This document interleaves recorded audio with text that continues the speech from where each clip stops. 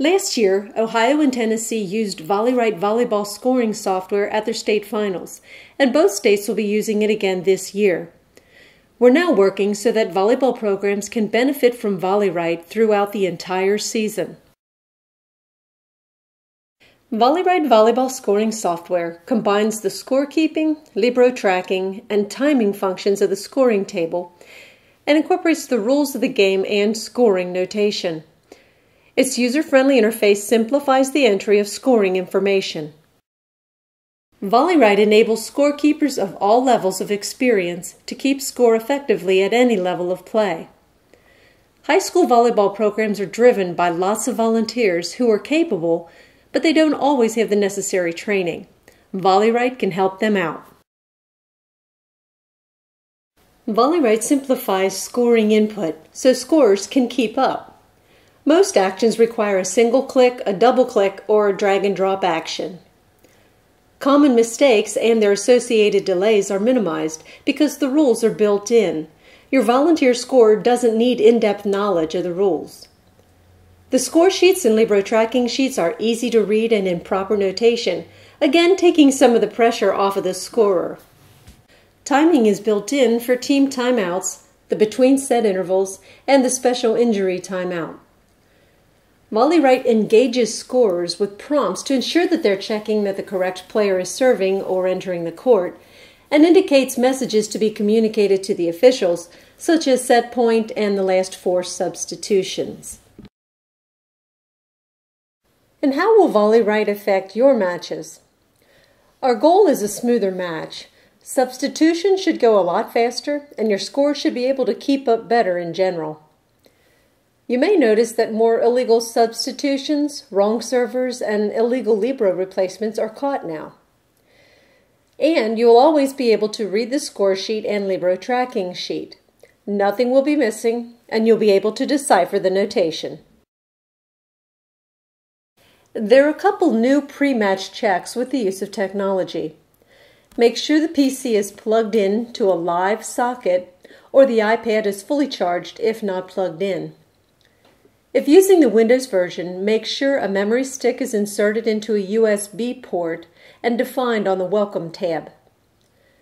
To reduce distractions, we recommend PC users turn off their screensaver and auto updates, and we tell iPad users to lengthen or turn off their auto lock feature. You can select which rules are in force for your match on the Rules tab. VolleyWrite comes with standard rule sets. You can edit one of the rule sets provided and save it as a custom rule set for tournaments, quads, and tri matches, and junior high matches. The NFHS rule set follows the rulebook, which outlines varsity matches. On the set play page, the NFHS rules indicate that the teams will play the best of five sets, all non deciding sets to 25 points, and deciding sets to 15 points. In high school rules, the teams don't switch sides during the deciding sets, nor are the sets capped for normal league play. The non-varsity rules indicate that the teams will play the best of three sets, all sets to 25 points, and no capping. The personnel page for both rule sets indicates a substitution limit of 18 and one libero who may be the floor captain and who may serve in one position. Do not panic if the match begins with the wrong rule set. Although you may not open an entire new rule set during the match, you can change most of the parameters on the different pages. VolleyWrite does have some internal checking that would not allow you to change a setting, such as you may not indicate that the Libero may not serve if the Libero has already served in the set. As you would normally do, when you check the rosters, be sure to communicate any changes to the scorer. Players listed on a roster can be marked absent, so VolleyWrite knows when an injury will result in a team playing short, or if an exceptional substitution is necessary, or if the special three minute injury timeout is appropriate. After the first home match of the season, the scorer should have the home team's roster already entered and saved. All they should have to do is use the Open Roster button and select their team.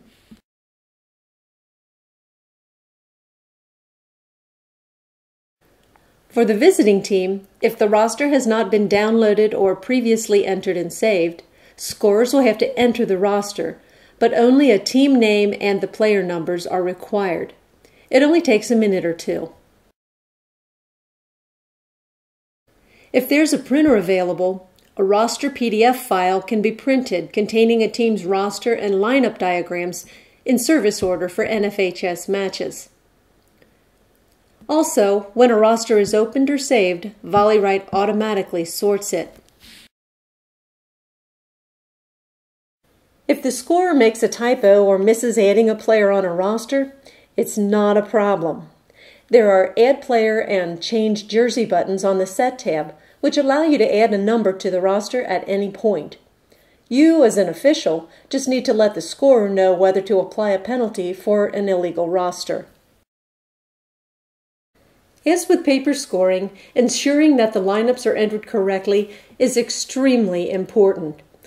Always check either visually or verbally that the lineups entered into the computer match the lineup diagram submitted by the coaches.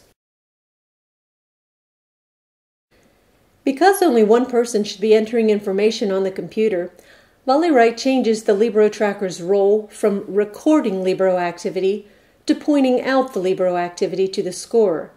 So with VolleyWrite, the Libero tracker is more of a spotter. To make this easy to see, a Libero is indicated as a blue number on the display.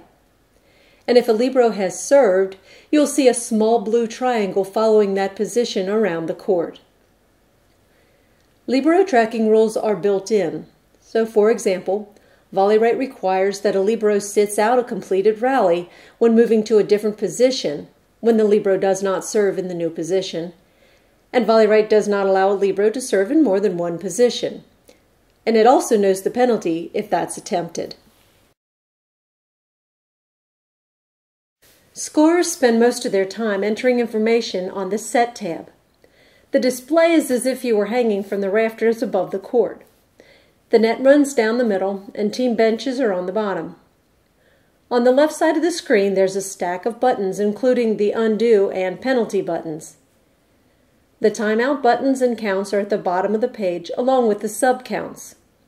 Players, including liberos, are moved onto the court by clicking or dragging and dropping. VolleyWrite is designed to help users enter information quickly and accurately, but you still need to ensure that your score is in sync with the flow of the match. As with paper scoring, if the match needs to be interrupted to be sure the scorer is keeping up, so be it. Better now than later when things are even more confusing. Referees and scorers are all responsible for the integrity of the score sheet, which is a high priority at volleyball matches to ensure that many of the rules are applied. Communication is a good thing. Inside VolleyWrite, if the scorer makes a mistake and catches it right away, the Undo button can be used to erase an action.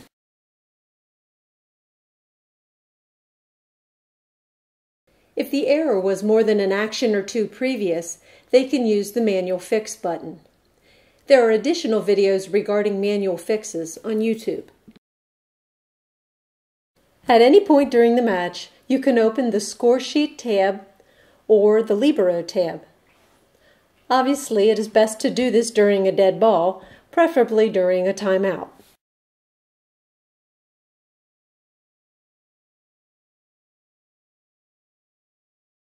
VolleyWrite puts up a window with the referee in the corner to alert the scorer to communicate to the R2 things like the last four substitutions, set point, and the new message when the Libero tracker informs the R2 of each team's Libero status at the beginning of each timeout. VolleyWrite does have an external display feature which acts as a scoreboard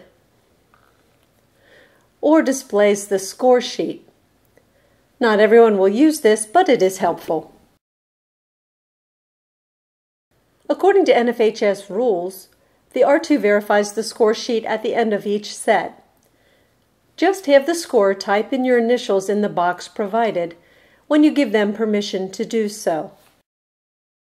We offer many different resources to make sure you're comfortable and confident at your matches that include VolleyWrite. Downloading a free trial of the Windows version is the best way to become familiar with VolleyWrite. You can use the scoring example in the back of the NFHS rules book if a scrimmage or live match is not available. All of the training videos on YouTube have VolleyWrite in the name, so you can use VolleyWrite as your search term. And coming soon, we'll have videos that address correcting your starting lineup.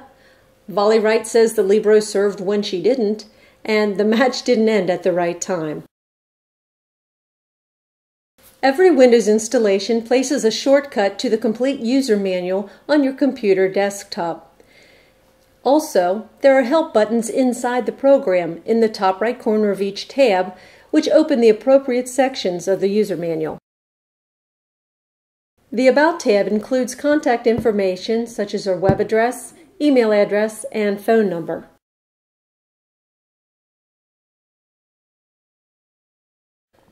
When you enter a facility using VolleyWrite, what should you do? Because this is technology, ensure that the power issue has been addressed, either in battery life or plugging into a live socket. You want to ensure that the correct rules are selected. Emphasize to your scorer to let you know if there's a problem of any kind. When you're checking the rosters, communicate any changes to your scorer. As with paper scoring, ensure that the lineups have been entered correctly before giving the court to the R1 at the start of each set. As with paper scoring, make sure your scorer is keeping up. Your verification of each set is actually entered by the scorer, but you can look at the score sheet at the end of each set if you want to, before giving the scorer permission to enter your initials. It is our experience that if your scorer can get the lineups entered correctly and enter the actions in the order in which they actually occur, you'll have no problems. You can visit our website at volleywrite.com. Please contact us with any questions at info at volleywrite.com. Thanks for watching.